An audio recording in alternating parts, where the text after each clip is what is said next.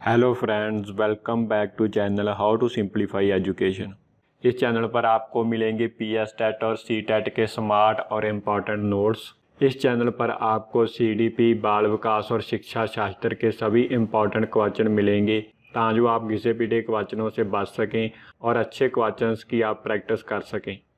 इसके अलावा चैनल पर ईवीएस मैथ और सोशल साइंस के क्वेश्चंस भी अवेलेबल हैं। इन सभी क्वेश्चंस को आप चैनल की प्लेलिस्ट में जाकर देख सकते हैं। सी टेट जुलाई 2019 के एडमिट कार्ड और दूसरी सभी अपडेट्स हम रेगुलरली आपको प्रोवाइड करवाएँगे। सी टेट जुलाई 2019 में आर्थिक आधार पर 10 परसेंट रिजर्वेशन को लेकर याचिका लगी हुई है और जय आरक्षण मिल सकता है या नहीं, इसके बारे में जो भी अपडेट्स निकल कर आएँगी वह सभी अपडेट्स हम आप तक पहुंचाएँगे। इसके बारे में लाइव हिंदुस्तान में न्यूज़ आई है, उस न्यूज़ को हम देख लेते हैं। सी हज़ार उन्नीस पात्रता परीक्षा पास करने में आरक्षण नहीं हो सकता। पूरी न्यूज़ देख लेते हैं।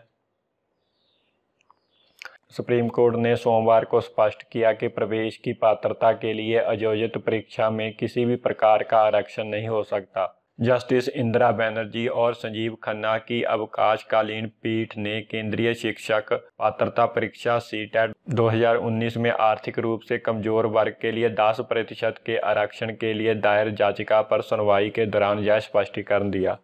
पीठ ने कहा कि किसी भी वर्ग के लिए आरक्षण का मुद्दा प्रवेश के दौरान ही आएगा। पीठ ने कहा, प्रवेश परीक्षा उत्तीर्ण करने के लिए किसी प्रकार का आरक्षण नहीं हो सकता। यह पूरी तरह से गलत धारणा है। यह सी टेट सिर्फ़ पात्रता प्राप्त करने की परीक्षा है, आरक्षण का सवाल तो प्रवेश के समय उठेगा। तो इसमें कहा गया है कि जो सी टेट है, वह एक एलिजिबिलिटी एग्ज़ाम है और इसमें आरक्षण नहीं हो सकता।